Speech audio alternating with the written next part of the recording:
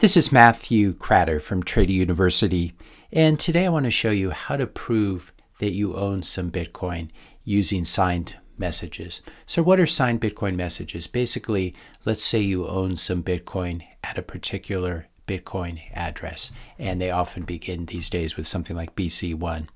What you do then is you write a message, you use your private keys to sign that message. So you use your private keys that are associated with that particular Bitcoin address, which is a public address.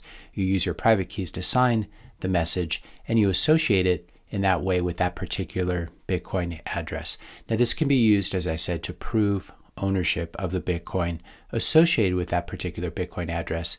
It enables you to prove cryptographically that you control that Bitcoin and that you have the private keys needed to send or spend it. Now, why might you want to do something like that? Well, I'll give you a very famous example. Let's say that you're claiming to be Satoshi.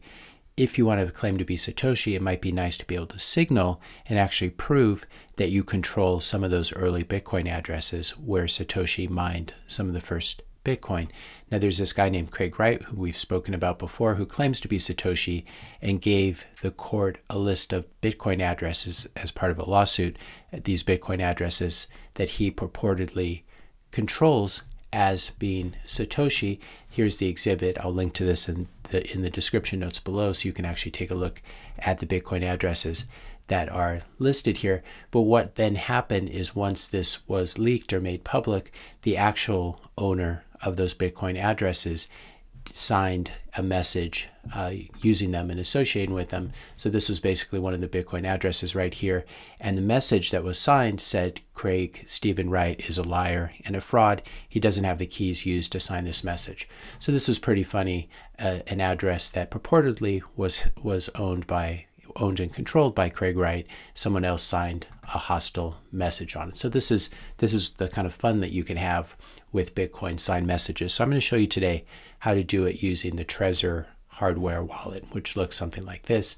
Basically, I've plugged it into the USB port of my desktop here. I'm going to click Trezor Suite for web up here because I don't want to download their software. And that will take me to this, uh, to my basically my account or the uh, hardware wallets uh, version of my account. So we have the dashboard here, we have accounts. You can see I put about $100 worth of Bitcoin in here. If we click on accounts, we can, this is where we can send and receive. And then again, my private keys stay on the hardware wallet. So that's the nice thing about hardware wallets. If I go down here on the, where the three dots are, and I click here, I can click sign and verify. So what I'm going to do is I'm going to pick the address that is used here. I'll put this right here and then I'm going to type a message and I did this in advance so I will paste it in here and the message is Ben Bernanke should be in jail. Just a random message that came to mind.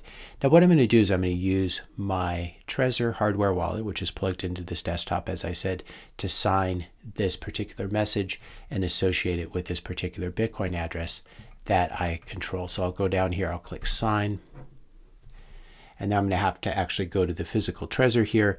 It says sign BTC message, confirm address. It has the address, and then it has a green check mark button. I'll press that, and then it's, asking me to confirm the message. And the message it has listed on my Trezor screen is Ben Bernanke should be in jail. I'll click check mark because I agree with that statement. So now what we have is the Trezor has generated a signature associated with this particular Bitcoin address and associated with this particular message.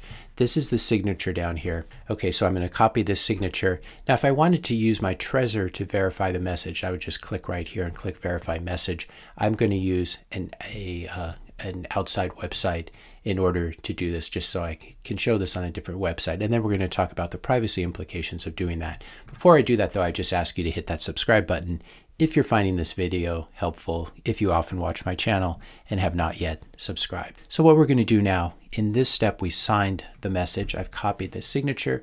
We're going to go to this website called verifybitcoinmessage.com and I don't necessarily recommend you using this. I'm using this just so I don't have to use the Trezor website for both signing and verification. But you could certainly use this if you wanted to verify. You could click verify message here if you wanted to verify someone else's signed message. So I put the message in here, Ben Bernanke should be in jail. Here's the Bitcoin address, and I'm willing to share this online because I'm aware of the privacy implications. I'm going to tell you what I'm going to do afterwards. So then I'm going to paste the signature that we just generated, and then I'm going to ask the website to verify this. And this will cryptographically verify whether this message has in fact been associated with this particular Bitcoin address. So I'll click verify, and down here we can see it says valid signature. Now let's see if we change just one little part of the message. What happens? We'll take away the period after jail. And then we're going to ask this website to verify. And again, it's, it's doing this cryptographically using the Bitcoin address. And I, I can't tell you exactly how it's doing it. Maybe some of you know the, the mathematical process for this, but I'll just click verify. And you can see now it says invalid signature. So it really does require that period at the end. If I click verify again, it's a valid signature. So by doing this, I've publicly demonstrated that I control this particular Bitcoin address. And you were able to see on my screen how much Bitcoin I have in that address and the, the value of it. Now there are privacy concerns, as I said, with using this this random. Uh, this just came up in a Google search. It's probably run by good people, but I don't know who runs ver verifybitcoinmessage.com.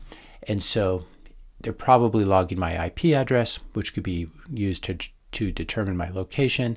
They're then associating my IP address with that particular Bitcoin address that I shared. In addition, by doing this, by trusting this, this website to verify the message, I'm trusting that website's node. I'm trusting also, I'm also trusting Trezor's node not to lie to me about the Bitcoin that I have here as well. And I'm also leaking privacy, of course, by sharing that Bitcoin address publicly.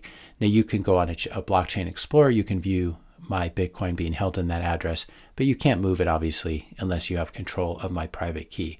But if I were to start moving this Bitcoin over uh, moving it to another address, etc. There might be some. Uh, so, for example, the one thing I would not want to do is is move this Bitcoin into my cold storage address or one of my cold storage addresses, and then you might be able to see uh, how much Bitcoin I own at least at those addresses. So I'm going to be sweeping the Bitcoin out of this particular Bitcoin address. I'm not going to leave it there for very long, and I'm going to be applying some privacy magic, some forward privacy magic, uh, which I do talk about in my courses so that no one will be able to track this on chain going forward because I don't really want to have to, to blur this out online. I'm happy leaving it there and trusting my ability to move it, move it around uh, safely.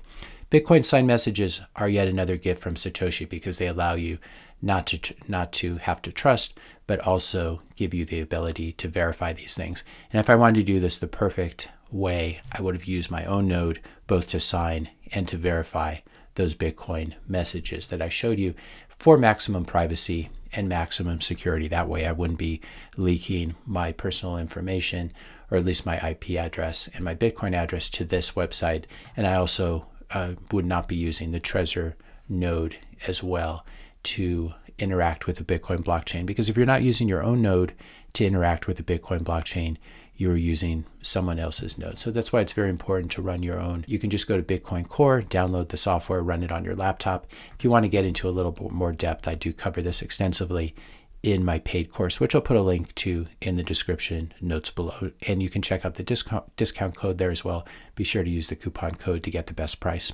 If you found this video helpful, be sure to hit that subscribe and like button. Hit the notification bell if you want to be notified when I publish my next video. And let me know your questions and comments in the comment section below. Thanks a lot for watching, and I'll see you in the next video.